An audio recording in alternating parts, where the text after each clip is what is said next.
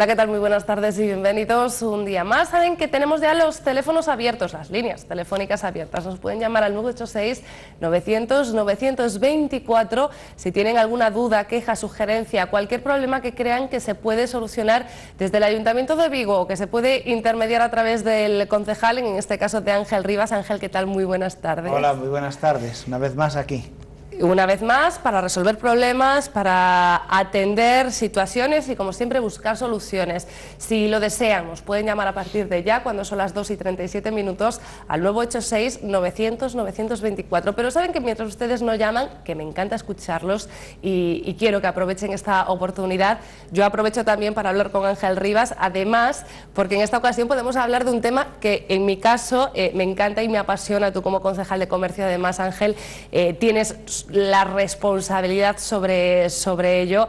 Eh, hablamos de una mm, pasarela de moda que va a tener lugar mañana, accesible para todo el mundo, para ver a los grandes y jóvenes creadores de la ciudad. Pues la verdad es que, bueno, en principio a mí me gusta que también la gente llame, porque es la forma que hablamos muchas veces, ¿no? de recoger las sugerencias, las quejas y poder resolverlas, por lo tanto, es lo que realmente pretendemos.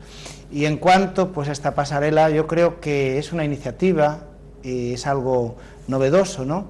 y que en esta ciudad que tenemos por un lado, un comercio que es de vanguardia, un comercio donde podemos encontrarnos de todo, que está a la altura de las grandes ciudades y sobre todo que lo que hemos hecho es a su vez eh, una combinación. Hay que decir que esta pasarela de moda que se celebrará mañana jueves a las 21.30 en la Puerta del Sol, pues es una, una iniciativa que partió desde el Concello conjuntamente con la Asociación la federación, mejor dicho, Vigo Histórica, en la que está, eh, se compone con la asociación del Centro Comercial de Príncipe, de Zona Centro y del Casco Bello, y con eh, la Escuela de Diseño Goimar, a su vez con el IES de Audiovisual eh, de Bouzas y con el IES de TEIS de, estética. Todo ese conjunto va a hacer que tengamos una pasarela y que tengamos algo, como decía, además de novedoso, va a ser importante porque vamos a hacer que sea, yo creo que este es el inicio de algo que pretendemos que se consolide y además con algo pues al aire libre, ¿no? que yo creo que tiene una visión totalmente distinta todo lo que ahí se haga y que nos sirve pues para trasladar eh, sobre todo, yo creo que hay que poner en valor el comercio que tenemos, que como decía es de vanguardia, está a la altura de cualquier ciudad importante, y después tenemos escuelas de formación, y yo creo que ese combinado en el cual vamos a tener aquí 22 eh, jóvenes diseñadores que han hecho una serie de modelos, que van a haber 44 modelos creados por esos alumnos que estudian esa escuela de diseño, a su vez pues va a haber pues como no, todos estos que están formando en estética los van pues a maquillar y estar ahí y generando todo el protocolo de la propia pasarela y, como no, los de sonido, en este caso del IES que está en bolsas, pues ahí prepararán todo lo que sea el sonido. Yo creo que va a ser una noche espectacular. Mañana este acto empezará a las nueve y media de la noche, nueve y cuarto, nueve y media aproximadamente, y tenemos ahí en torno a dos horas. A su vez, hay que decir que quisimos eh, ir más allá, ¿no? porque la, participación de todos estos alumnos está bien, pero quisimos también contar con empresas que de alguna forma a su vez también fabrican en Vigo. Ángel, seguimos hablando de esto. Pues seguimos, vamos a escuchar llamada. Eh, enseguida, porque tenemos una llamada, pues sobre todo esperando desde hace un ratito, pues vamos y nos está metiendo prisa con razón. Tenemos a Charo, ¿qué tal? Muy buenas tardes. Buenas tardes. Charo, Hola Charo, buenas tardes. primero, cuéntanos quería dicirche que os arbustos que plantastes na pola carretera de Gía, sabes que os plantastes e despois os rou, os levaran, sí, sí, sí. e volveches a plantalos. Pero se caro, e iso está moi feo. está que calquer día pode caer unha criatura por aí abaixo. Non é que vos sí. non nos plantarades, que quede claro. Plantárselos, os levaron, depois os volvetes a plantar, tamén se plantaron moi pequeniños, e iso secou e ora está iso moi mal. Outra cosa que che quería dicir, que outro día quixen falar co alcalde e non fun capaz de coller liña con el outro día a noite, que era para darlle as gracias polo camiño de Cancelos, que quedou, saca, que quedou unha carretera, que era un camiño e ora quedou unha carretera. O que pasa que é unha pena, é unha pena que non chegarades coa carretera abaixo a Maceiras, porque parece ser que uns que teñen aí terrenos que non dejan ou non sei, non sei que historia que hai aí. E despois tamén un cachiño que quedou aí apenas que vai ao Colegio das Moixas, que quedou tamén sin botarlle un poquinho de asalto. Eu estou facendo un pouco de Celestina apoiando un pouco as moixas. un, pouco, un pouco as moixas. Sí. Entonces, a veces se podía facer algo, me botarlle un poquinho de asfalto aí as monxas, que non é tanto, porque anduveron collendo firmas, e despois o, o camiño xa che dixo de cancelos que quedou onde está o río, onde está o pilón, que se iso xa antiquísimo, xa iba a miña nai con 100 anos a lavar aí, e era un camiño que non había quen pasara, e agora de botaste ese asfalto, quedou precioso, quedou moi ben, moi ben, moi ben, moi ben, pero que pasa? Que non cheja a Maceiras.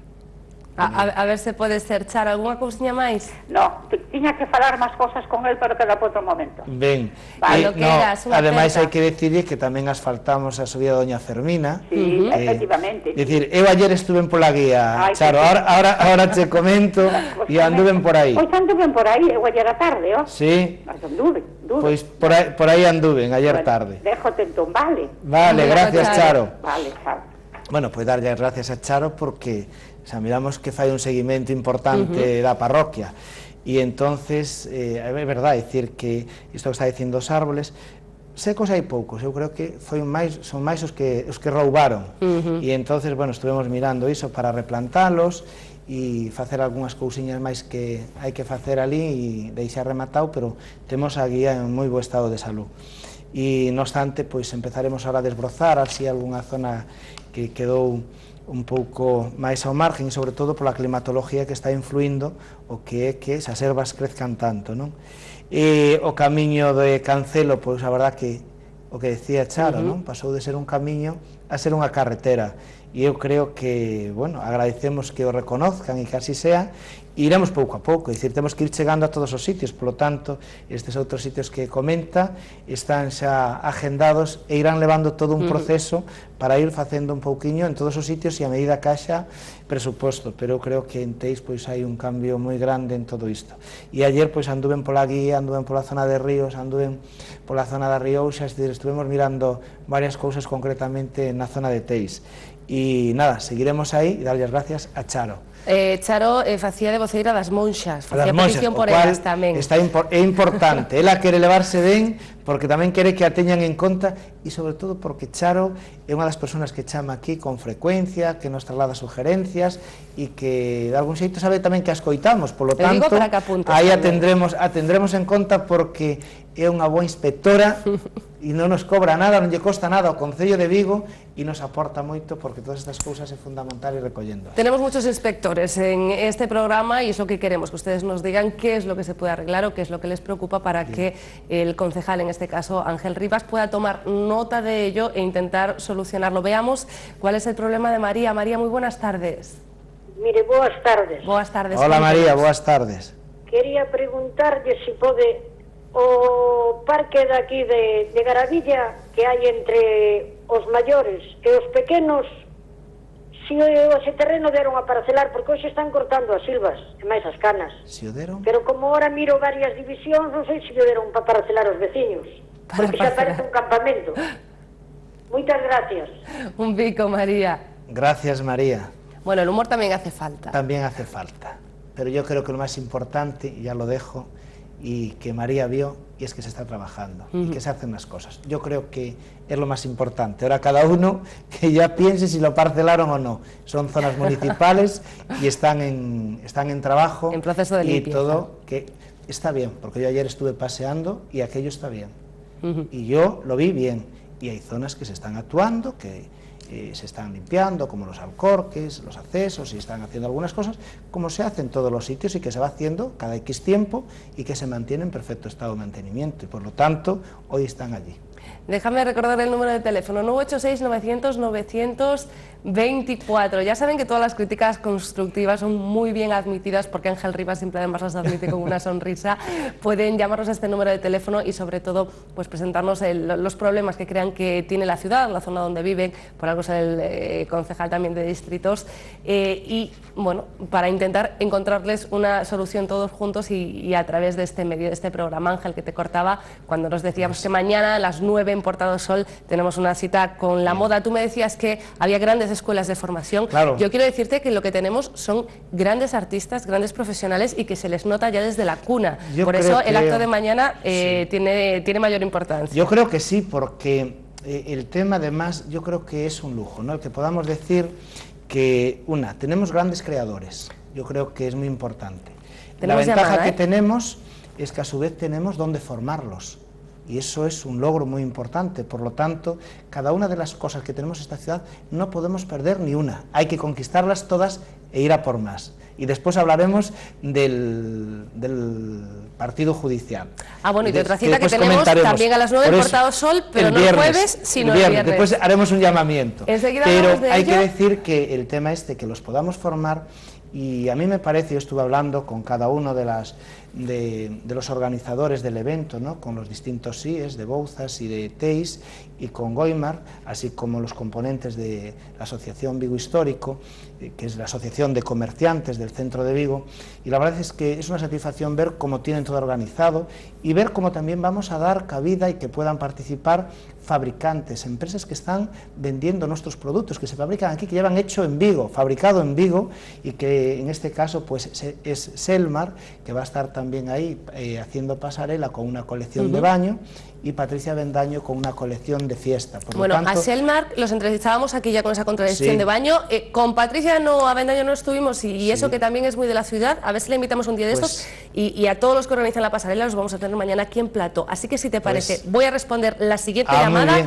y, vamos haciendo Porque así pequeños, tenemos que hacer, María, tenemos que hacer que la pasarela de mañana marque mañana un comienzo de algo y que sea algo importante mañana vamos a hablar de ella hasta misma hora. en la calle, al aire libre y con grandes profesionales que yo creo que vamos a marchar todos para casa muy contentos. Vamos a responder una llamada y enseguida seguimos. José Antón, muy buenas tardes. Hola, buenas tardes, María. Conte. Hola, buenos días. Vamos, señor Rivas. Hola. Señor Rivas. Varias cosas telegráficas.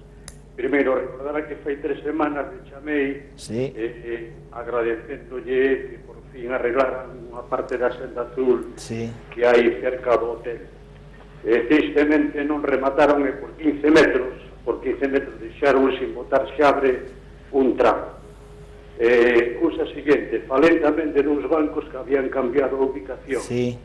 os bancos siguen no mesmo sitio ainda que esta vez xa un deles xa non me ten que cambiar teñen que repararlo porque da fogueira de San Xoan parte del sí. pois, pois xa o, xa, o, xa arrancaron de cabras.